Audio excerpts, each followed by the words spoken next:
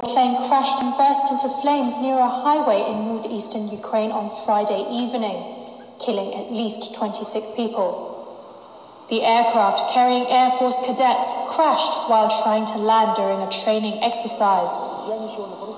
The State Emergency Service of Ukraine said 27 people had been on board the plane, seven crew members and 20 students. Only one cadet managed to survive.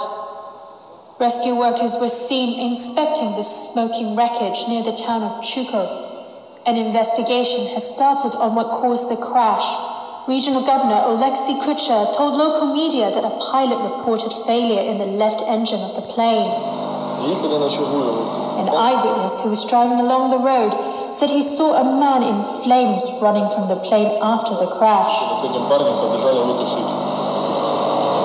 The crash happened around a mile from the military airport. The cadets were from the Kharkiv University of Air Force, which is run by the Defense Ministry.